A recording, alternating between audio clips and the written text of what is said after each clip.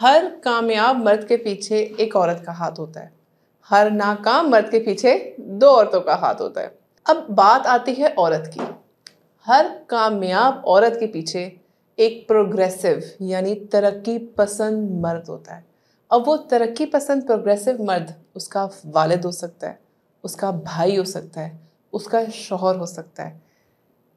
इस सबसे हमें यकज़ होता है कि वो ख़ानदान प्रोग्रेस करते हैं। जो पढ़ लिख जाते हैं, जिनको औरत की एजुकेशन की इम्पोर्टेंस उनकी तरबियत, उनका आगे बढ़ने का वो मतलब और मकसद की समझ होती है। वो मर्द जो इस सोच को जहन में रखते हैं कि औरत भी एक बहुत ज़रूरी हिस्सा है, इंजन है गाड़ी का और मर्द भी।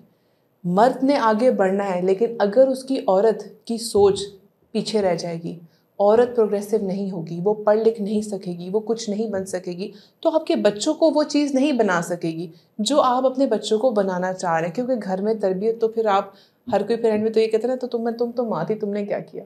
तो आप उसको इतना एक्सपोजर दो, उसको इंकरेज करो कि वो भी कुछ बने। जब उसके अंदर अच्छा सेल्फ कॉन्फिडेंस होगा तो फिर वो आपके बच्चों को भी वैसे परवान चढ़ाएगी। वो माशरे का एक बहुत अहम हिस्सा होगी। माशरे में कुछ रोल्स मर्दों के होते हैं, कुछ रोल्स ख़वातीन के होते हैं। जो ख़वातीन के रोल्स होते हैं, वो ख़वातीन बखूबी बखूबी अदा करती हैं और उसमें मर्दों का बहुत बड़ा हाथ होता है। चाहे वो रोल घर के अंदर हो, चाहे वो रोल बाहर हो, चाहे वो रोल किसी भी किस्म का हो, एक सपोर्टिव आदमी अगर एक औरत की ज़िंदगी में है तो उसको कामयाब होने से कोई नहीं रोक सकता। अगर आप चाहते हैं कि आपका ख़ानदान सक्सेसफुल हो, अपनी औरत को आगे बढ़ने दें उसकी ख्वाहिशात पूछें। वो पूछें वो आगे क्या बनना चाहती है। उसकी क्या ख्वाहिशात थी शादी के टाइम। वो शादी जब लड़की एक, लड़की जब शादी होती है ना, उसके बहुत जहन में ख्वाब होते हैं। उनको पूछें, उनको आइडेंटिफाई करें।